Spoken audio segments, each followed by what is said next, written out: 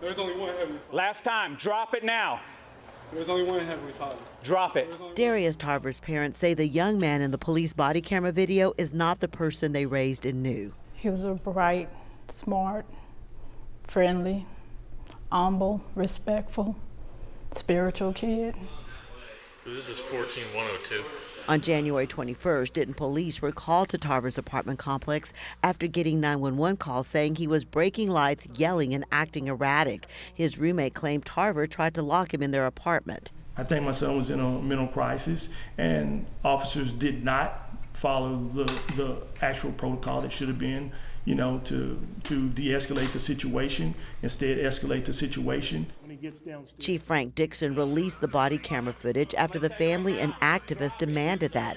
He says he released it to prevent civil unrest and to get the facts out. We're not going to allow people, no matter if it's for your personal agenda, your political aspirations and agenda, or even if you're grieving, to say hateful things about our cops. We're not going to do it.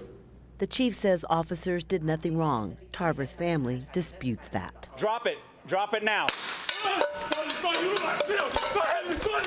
They say the video shows police initially tased their son while he was standing still, then shot him when he reacted to the tasing. Police say he had a frying pan and a meat cleaver in his hands, didn't obey commands, and slashed an officer's uniform. You can see that very clearly there was a very large meat cleaver.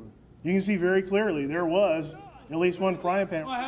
Do not move. Where's that knife? Police deployed a second taser. Tarver got back up, grabbed a frying pan, and came after officers. So they shot him twice. There was no deadly threat from a frying pan. The Denton chief says officers could have been injured. Tarver's parents say their son had never been in trouble and never had a mental health crisis. They say if police had used more restraint, their son would be alive.